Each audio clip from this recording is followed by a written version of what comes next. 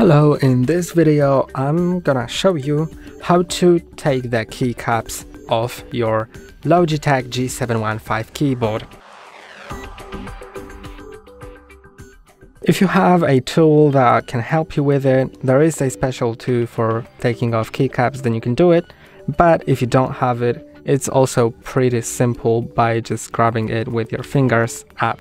But you need to be careful with it.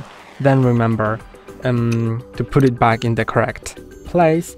So if you have a different keyboard layout than this, then you may want to take a picture of yours so you know what to put um, on which keys later on. And you can just do it with all of the keys. It's not really easy, so I suggest getting a um, tool that uh, removes keycaps so you don't hurt your fingers too much. And that's all for today, don't forget to like and subscribe, see you next time.